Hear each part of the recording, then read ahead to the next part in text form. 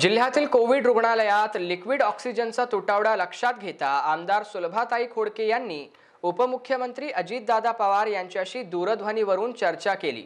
जिल्हा कोविड रुग्णालयासह खासगी रुग्णालयात मुबलक ऑक्सिजन साठा व अतिरिक्त बेड उपलब्धतेची मागणी आमदार सुलभाताईंच्या वतीने करण्यात आली.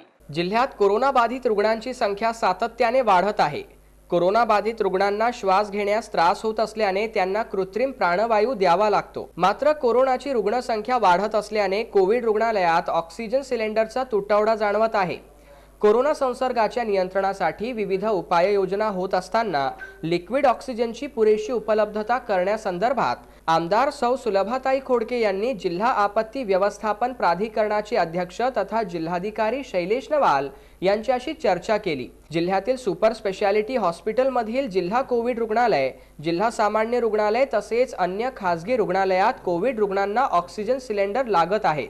त्यामुळे ऑक्सिजन साठा कमी पडू नये म्हणून ऑक्सिजन निर्मिती वाढविणे आवश्यक असल्याचे जिल्हाधिकारी शैलेश नवाल यांनी सांगितले. अमरावतीमधील कोविड रुग्णालयासह खासगी रुग्णालयात दिवसेंदिवस वाढती रुग्णसंख्या लक्षात घेता पर्याप्त ऑक्सिजन सिलेंडरची कमतरता भासत आहे. त्यामुळे अमरावतीत ऑक्सिजन साठा वाढवून देण्याबाबत आमदार सौ सुलभाताई खोडके यांनी राज्याचे उपमुख्यमंत्री तथा वित्तमंत्री माननीय अजितदादा पवार यांच्याशी चर्चा केली. कोविड रुग्णालयात अतिरिक्त आयसीयू बेडची व्यवस्था करण्यासह लहान व जम्बो ऑक्सिजन सिलेंडर उपलब्ध करण्याची मागणी आमदार सौ सुलभाताई खोडके यांनी उपमुख्यमंत्री नामदार अजितदादा पवार यांच्याकडे केली. या मागणीच्या अनुषंगाने माननीय उपमुख्यमंत्री अजितदादा पवार यांनी अमरावतीचे जिल्हाधिकारी शैलेश नवाल यांच्याकडून अमरावतीमधील कोविडची स्थिती व उपाययोजनांबाबत दूरध्वनीद्वारे माहिती जाणून घेतली.